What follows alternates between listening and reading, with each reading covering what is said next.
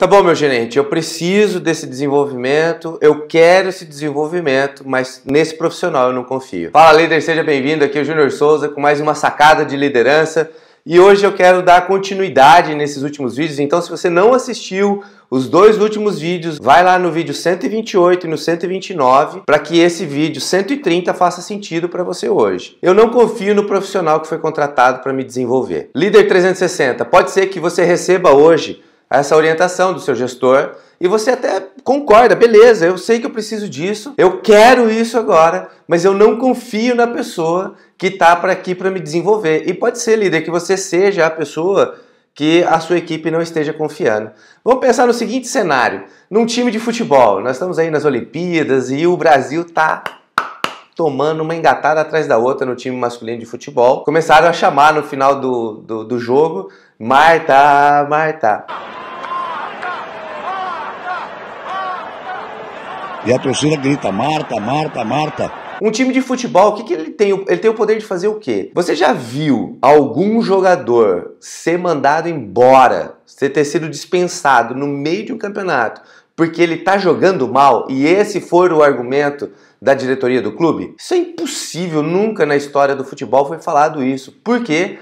Porque primeiro desemboca no técnico. E o que, que acontece? Quando o time não quer mais esse técnico, ele começa a jogar mal, começa a ter problema de passe, começa a ter problema dos fundamentos básicos, começa a ter problema com a torcida. A torcida, principalmente no Brasil, a torcida invade sede de time, quebra tudo.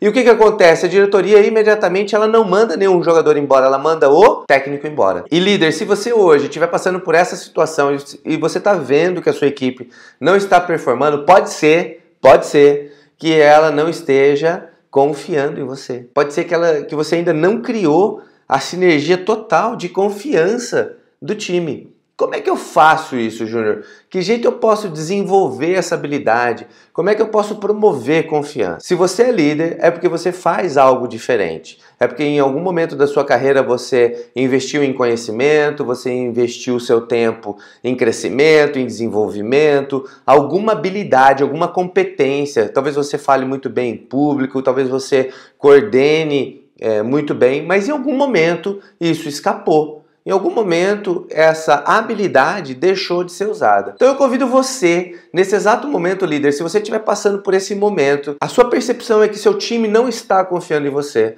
Eu convido você a começar a escrever quais são as suas competências. Que competências te trouxeram até aqui? Quais foram as habilidades que te trouxeram a ser líder, a ser gerente, a ser diretor, CEO? Quais foram as competências e habilidades que te trouxeram até aqui? Depois que você elencar essas competências e habilidades, eu convido você a escrever uma outra coisa. Quais são as evidências de que de fato um dia você usou essas competências e habilidades? Quais são as, as evidências? Eu, já falei de uns vídeos muito para trás aqui de que são evidências. Evidências. Quais são as evidências de que um carro é zero quilômetro? Cheiro de carro novo, plástico no banco, odômetro zerado, nota fiscal, enfim, etc. E tal. Então, quais são as evidências de que você um dia usou essas competências e habilidades? Quais são as evidências que te trouxeram até aqui. Mas por que, Júnior, que eu preciso fazer isso?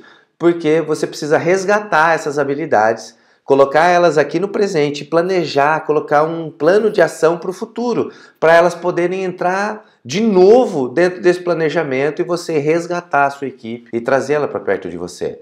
Dentro dos processos de coaching é muito comum as pessoas chegarem até o coach e numa simples conversa, quando a gente fala de um coaching education, a pessoa olhar e falar assim: putz, não senti confiança nesse profissional. Por quê? Porque pode ser que a vivência não seja adequada, não bate com o que ela está procurando. E quando você perceber, se você usar no vídeo 129, no 128, eu falo de uma ferramenta para você levar as pessoas a entenderem que elas precisam disso.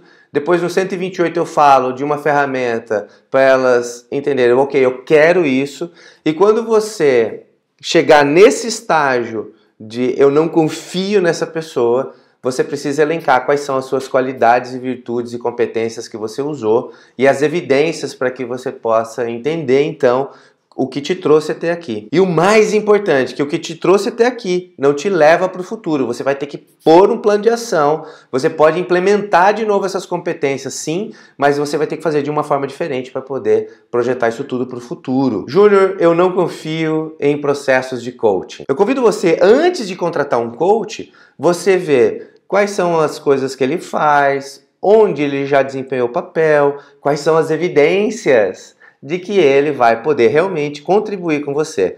Pode ser que você vá passar por dois ou três antes de escolher qual realmente vai poder contribuir com você. Líder, compartilha comigo aqui embaixo que tipo de ferramenta mais você precisa? Existem N ferramentas da psicologia comportamental, da psicologia positiva, N ferramentas do coaching e eu quero começar a compartilhar essas ferramentas com você. Mas antes de eu começar a compartilhar, eu gostaria de saber de você que tipo de ferramenta, ou melhor, que tipo de problema você vem vivendo hoje que alguma ferramenta do coaching ou da psicologia poderia alavancar ainda mais a sua carreira. Se inscreve aqui no canal do YouTube, vai lá no Facebook onde eu postei esse vídeo, vídeo 130, curte, compartilha com seus amigos, marca o nome das pessoas que você acredita que esse conteúdo é importante e eu te vejo amanhã com uma nova sacada de liderança. Até mais.